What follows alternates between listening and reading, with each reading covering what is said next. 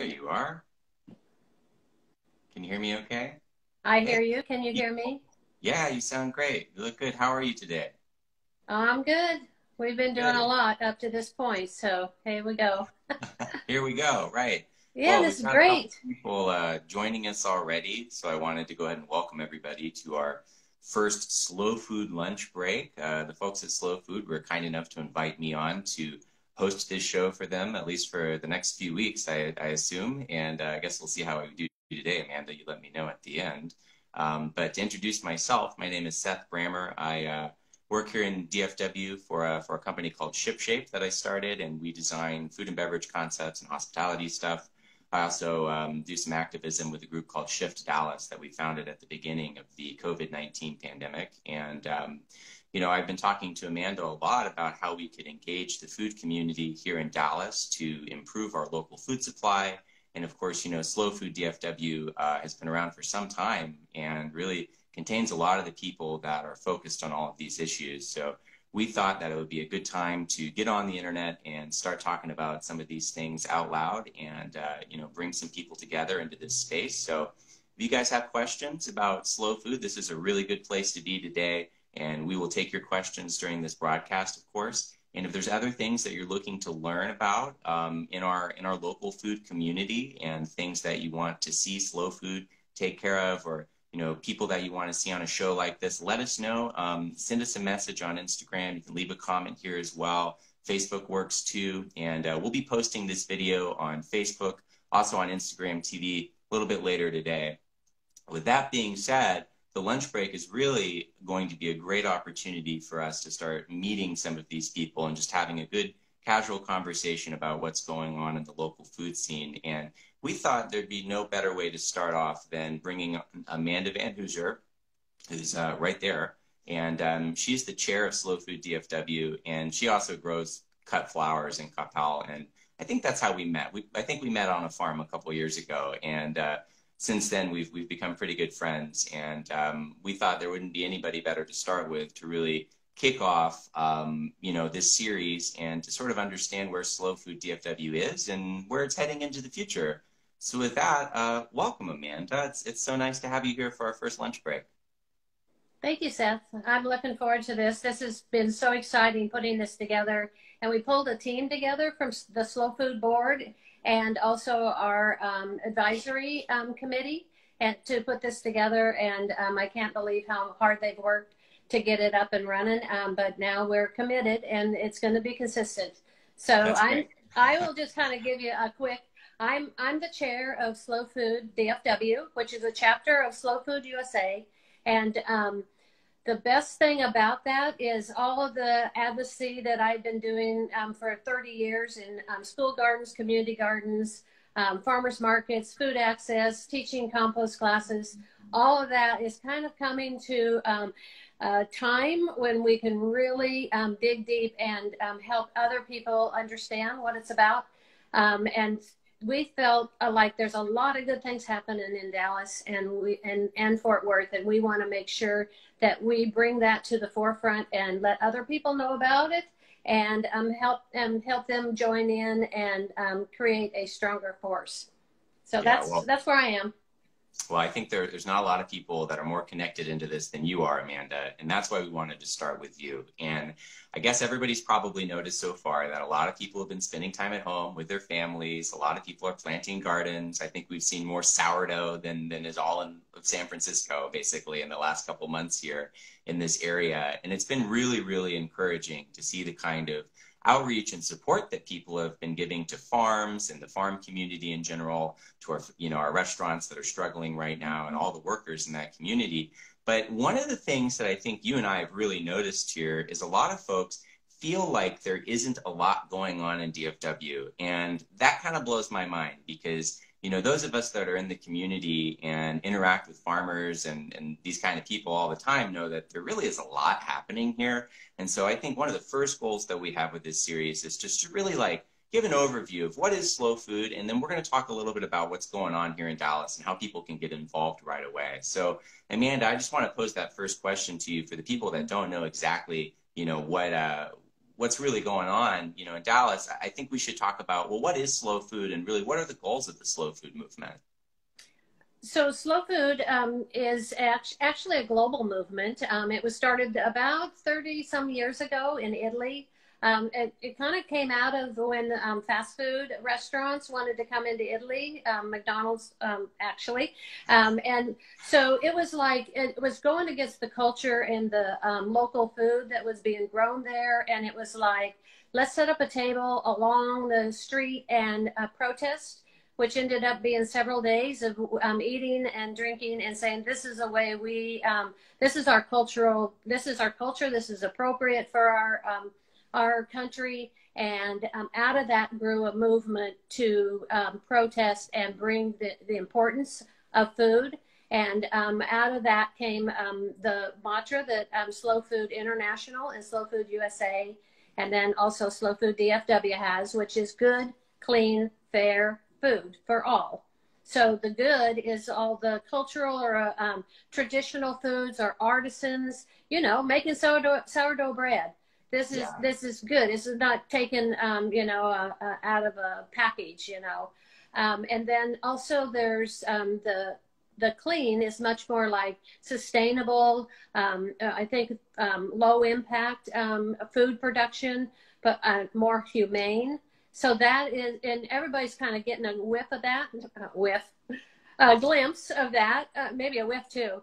Um, but those are those are important for both the um, planet, the people, and also for the economy. And so we've seen mm-hmm. what how the local economy can, the smaller the better. Um, and then there's the fair piece, and fair piece um, here in, in Dallas Fort Worth is so important, and I think we've really seen that for um, wages of workers and how and treatment of workers on farm and restaurants back of the house, but also um, um, in raising food. Um, and then there's also the, the justice and inclusion of um, quality food and healthy food for uh, everyone and that access to that food. So we're going to be featuring some of those um, projects here in the um, Dallas area of all of those. We'll, we'll kind of pick different topics of good, clean, and fair so you get a better understanding of um, what that is and what is actually going on here.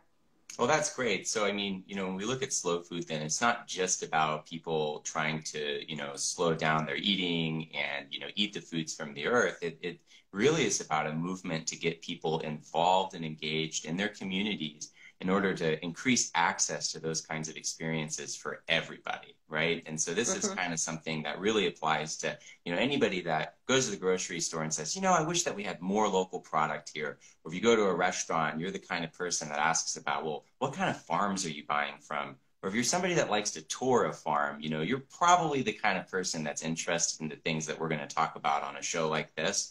And, you know, it's really about taking those amazing experiences that some of us are lucky to have. Some of us are lucky to be able to grow produce in our backyard, but not everybody has a backyard, you know? And we're really working hard in Dallas to make sure that everybody has access to, like Amanda said, good, clean, and fair food. Because really, everybody has to eat. And, you know, those of us that love food are responsible for sort of shepherding those experiences into the community for everybody. And that's what I've always loved about the slow food movement. So it's kind of fun to be able to hang out uh, and talk slow food with you. This, this is great. So yeah. you mentioned some of these things are already happening in our community. And I wanted to talk a little bit about kind of you know what slow food has going on right now and then maybe we can talk about some of the some of our partners and stuff that we're working with on some new projects Okay, great. Yes. Um, one of the, the main things that we're working on is um, doing these conversations um, and um, getting out there online. We felt the timing was real important um, and we might have jumped into it before we were all ready and everything,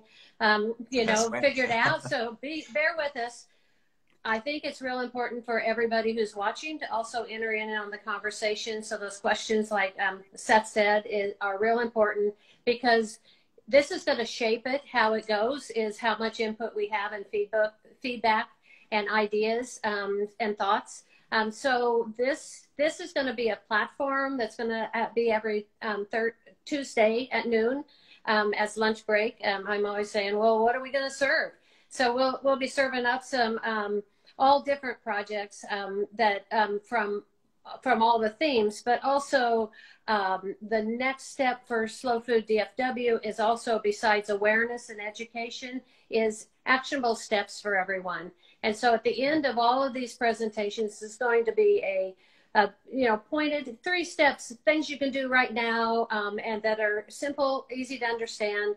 And we're going to try to give resources to people, but we also want people to connect. Um, building relationships, connections, uh, and building a community is all part of this. Um, so that's happening. Um, another thing that we had um, talked about doing um, way um, last year um, was the snail of approval, which is oh, a yeah. kind of a, a, scale. yes, so we, we really were ready to roll it out probably February, and then it was like, well, let's figure this out. So the snail of approval is actually global. it's it's almost like let's look at um, establishments and see how they fit in with the values of good, clean, and fair. And then we broke those down into other um, other um, kind of how does that impact a mm-hmm. restaurant or a farm or a local food artisan type store or a farmer's market. And so um, we were ready to recognize some of the projects in, in the, the Dallas and restaurants. Um, and then it just didn't seem um, more it almost was like this is an award, but then we were like, this could be the way out of the um, the slowdown that we have now to take those values and share them and um, actually pinpoint some of the um, projects that are going on. So that you'll see more about Snail of Approval. So just kind of keep in, keep in touch on that, um, and that's coming. So the, so the Snail of um, Approval is going to kind of be, you know, if people think about when they're walking around, maybe in an unfamiliar restaurant city you know, in some parts of the world, you can see this snail logo kind of in the window, yeah. and it means that that's a restaurant or it's a grocery store, a cafe or whatever that's using products that, you know, and practices that, you know, apply to what we're talking about today, good, clean, and fair food. And so instead of judging the, you know, oh, this is the best restaurant or whatever, what we're really looking at are people that are pushing for the kinds of changes that we all want to see in the world and in our food system. And as we know, the restaurant community has a lot to do with that we actually have a lot of great restaurants here in DFW that I think would earn the snail of approval, right? Right. Yes. And, and we had already pinpointed some, and we can um, bring them on here too. Um, um, and especially the ones, um, you know, sourcing from a local farm or um, making sure your workers can continue to work through um, a time of shutdown. Mm-hmm. And and then also, how are you handling funds that are uh, coming in. You know, all of that is part of Slow Food because it's actually a, a local food system.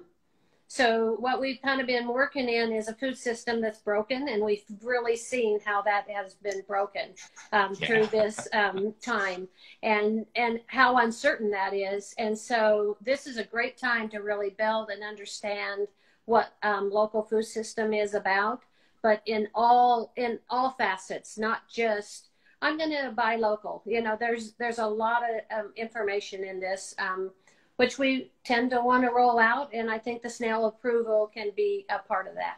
Well, I think we're we're really looking forward to getting that one going, and mm-hmm. you know, everybody uh, everybody likes to see to see that kind of stuff in the market, and you know, it's good to have a little bit of a barometer of you know who's really on top of these things and you know, there are, like we said, there's a lot of folks that have been have been at this for a long time, and so this is a good way for Slow Food to to start stepping into the ring and recognizing some of these people. So, snail of approval something we can look for maybe a little bit later in the year, probably.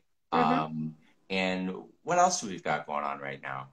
Um, well, we've just um, been working with an urban ag um, it's a collective of people that are um, working with about um, food access to insecure food areas. Um, a lot of that's in the southern sector, but also, um, you know, just um, most of them are gardeners and talking about growing food and um, also how how to get good healthy food and in diets. and so, one of the things that we uh, came up with was that it all these seeds. You know, everybody wants to put a garden in, but I went to Johnny Seeds to order my seeds as a as a farm, and it was like, nope, we're closed down because people bought too many seeds, and we're only open wow. to the commercial growers. So it is it's real important to start saving seeds because we don't know um, how there's just four companies that are taking over all the seeds. And okay. so, and controlling seeds, just like controlling food, seeds are food. And so um, here in the Dallas area, um, there's a, a, group that is starting to do seed savings. And so Slow Food's going to be rolling that out with Moss Haven. Uh, um, Moss Haven Farm, Master Gardeners are getting involved. Um, a lot of these seeds may end up at the Dallas Public Library, at their seed library. So, you know, this is Slow Food's deal. Find, you know, uh, keep keep pulling in all of these different projects and connecting them and, and building those relationships for a star, stronger, more vibrant local food system. And so the saving of the seeds seems so essential because the seed is where everything starts. Mm-hmm. And also it's the bio the biodiversity, which is huge in, in slow food.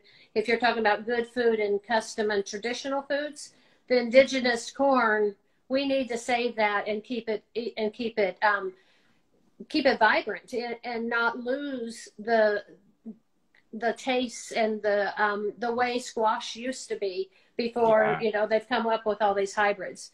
So I think well, that, um, that you'll see more about the seed saving. That's going to be fun.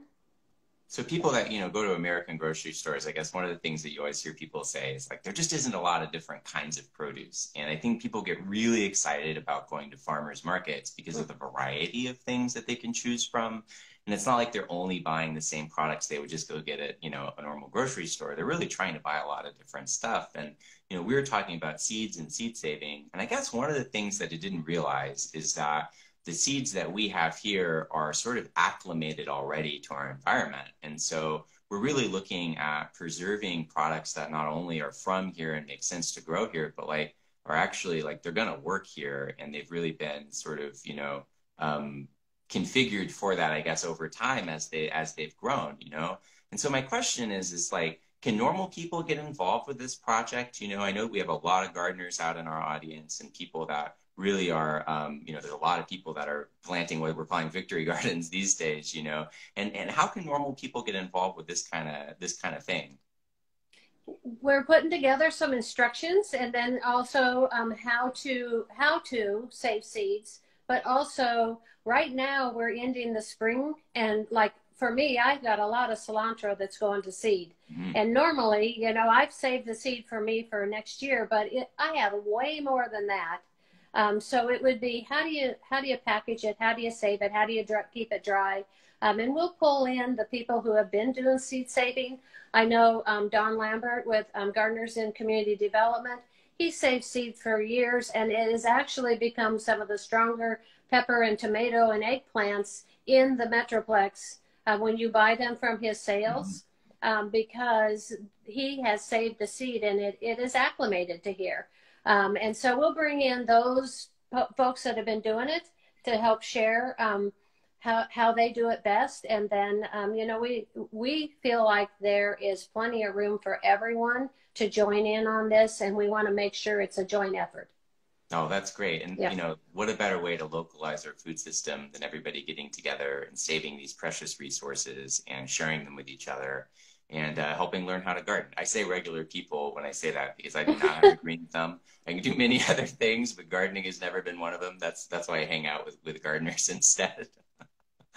So yes, but you appreciate it, Seth. Whenever well, you're it, out yeah. on the farm, you're just like amazed and running around yeah I, I, think it's just jealousy more than anything else you know and so so talking about that i know that you know we've, we've spoken a little bit about you know people that go and hang out at farms and stuff like that and, and another question that i get all the time from friends and people that just meet me is like how do you meet all of these people? And really like how is it that you even got involved with with you know talking talking to folks like amanda about the slow food movement? And i wanted to go over a little bit about that today because i think a lot of people here in dallas really passionate about these things, but maybe they've never been to a local farm before, or maybe they don't really know what this whole movement's all about. So I know that we're putting together some some activities, and we want to talk about that a little bit. Maybe we can talk about kind of how to reach out into your local community and, and start making that impact. Um, yes, definitely. Um, I always um, suggest if you want to know farms, um, is to get to go, go go to the farmers markets that vet the farms and make sure that you know they'll go out the um, farmers market staff or um, volunteers they'll go to the farm and then they um, you know watch what produce is coming in and um, that you know what here in dallas it's the good local market. It's a really um, great market. There's what one friday and or saturday and sunday. Um, and so you know going and then building that relationship. When you're buying from a farmer they're going to tell you how it's grown or what it is and and you know they'll give you um, a lot more information about your food and so you know about it but you're also knowing more about the farms I've known people that have met someone, a farmer at a farmer's market, and they've ended up going to the farm upon invitation because not all uh, farmers have to work. They can't always in, be the host at farms. It's a lot of work. um, so that's um, that's one of the ways to do that. But another, um, we simply on our website on Slow Food DFW, which we're doing a remake of the website, and we're rolling this out before that's done but under about there's a list of all the farms um, in the area. It may not be current so if you're reading through it and there's links to those farms and where they sell.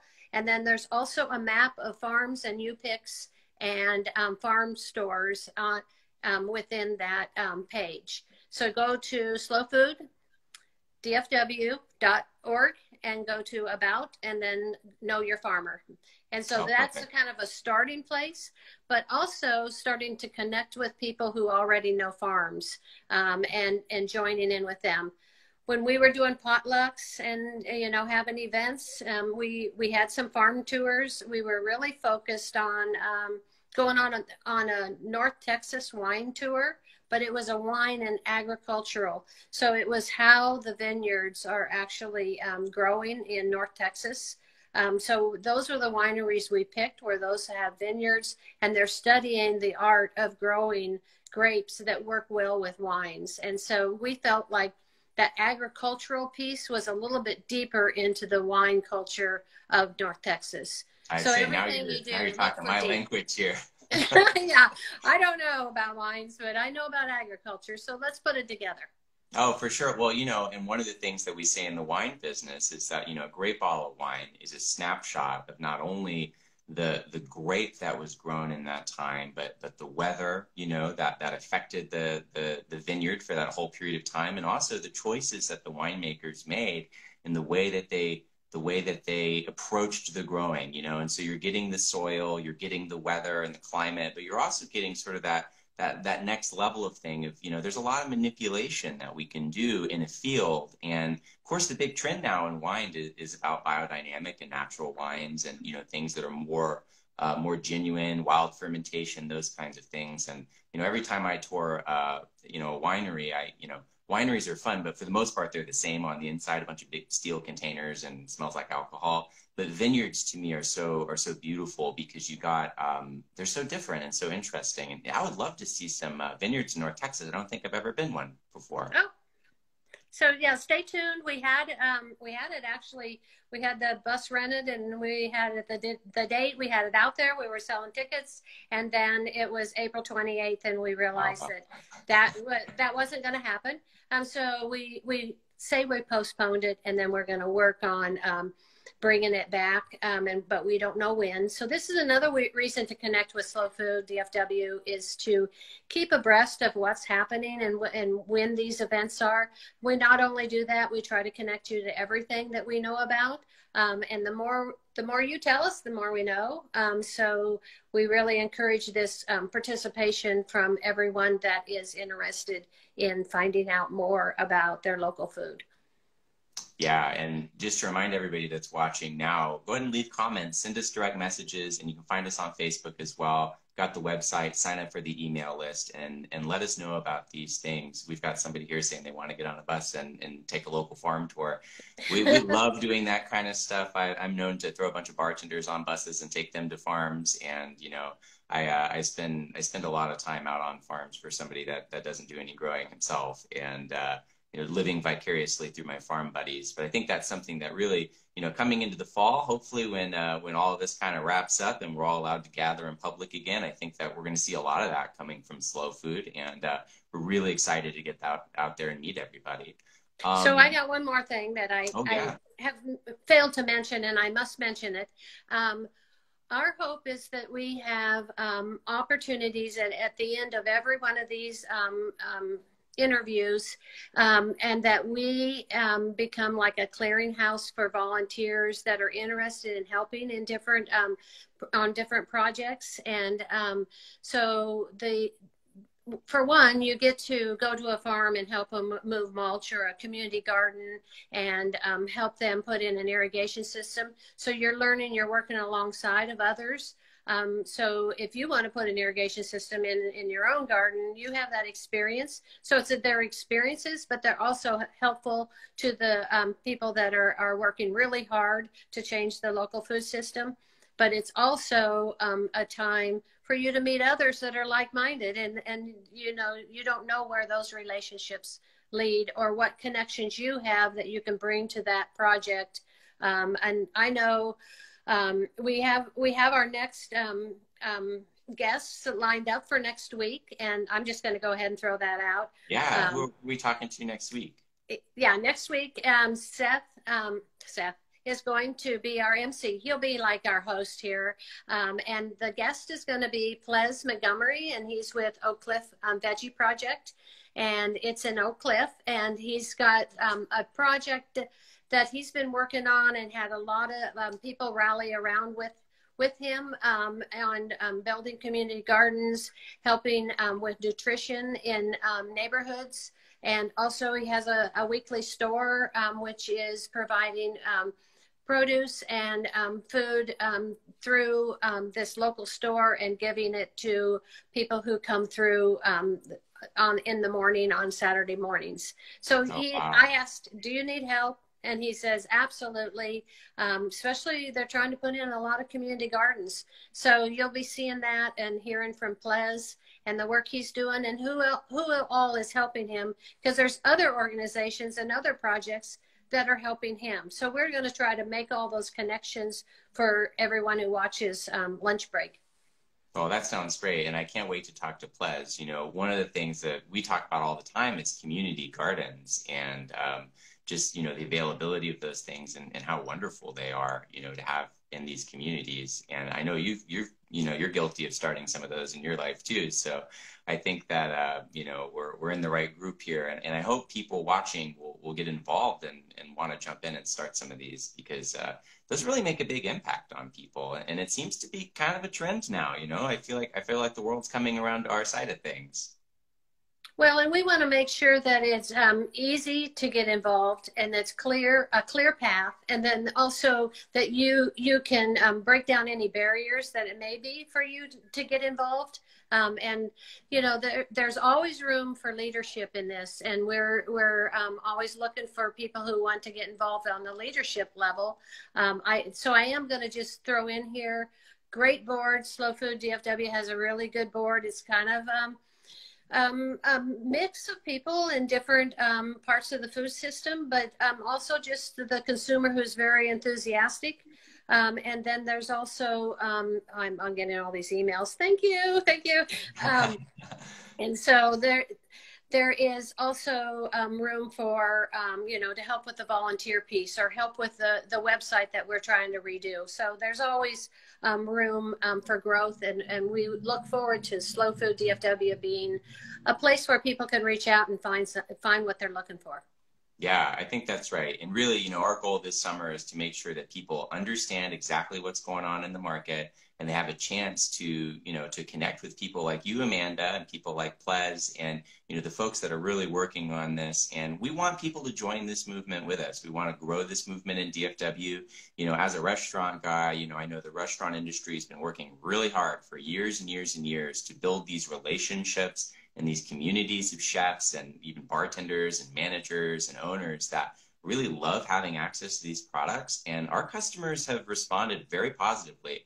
And you know, since COVID has happened, with all the tragedy that we're facing, I think that we can look at the the real lovely part of this. That is, we've got this new sense of community, and people are really ready to kind of put the shovel in the ground and really, you know, get their hands dirty and start working on some of these projects. And so, you know, people ask me all the time, well, how can I get involved? And that's really what this is all about. We want to we want to let people know directly this is how you can get involved. So, mm-hmm. you know, your first step is make sure you're following us here on Instagram. Make sure you check us out on Facebook. Give us a like there so that you can keep up with all those things that we're doing. Jump on our email list as well, so that way you don't miss anything. And then, like Amanda said earlier, each of these episodes is going to contain some information so that you can just directly get involved in this movement and when we come back together, hopefully sometime soon, and we're all yep. able to meet in person again, uh, that's when we're really going to jump into some of this, you know, community action. But there's things that are happening today, right? So people don't have to wait. You know, it's really about it's really about getting out there and talking about the change that you want to see in the world because there's a lot of us. I think there's a lot more of us than uh, than people realize right now. You know, and it wasn't until I started uh, intruding on everybody's farms that I got to meet everybody. You know, and uh, and now we're really excited to to bring that around with everybody else. So I wanted to give an opportunity for the audience if anybody had any outstanding questions. I know I saw one earlier that was just you know are these going to be archived on Facebook and Instagram, and they will be. At the end of this, I'm going to download it and uh, we'll put it on IGTV here on Instagram. We'll put it on our Facebook page as well. You'll be able to access it there, and each of the following episodes will be there as well. And in the same vein as that, if there's people that you feel like we really need to hear from or folks that you don't think we know yet, let us know who they are. You know, we're here to connect you. You're here to connect us, right? This is a community and uh, we have to build it together. So we're really, we're really excited about doing this project. And, uh, you know, I love talking. So this is right up my alley.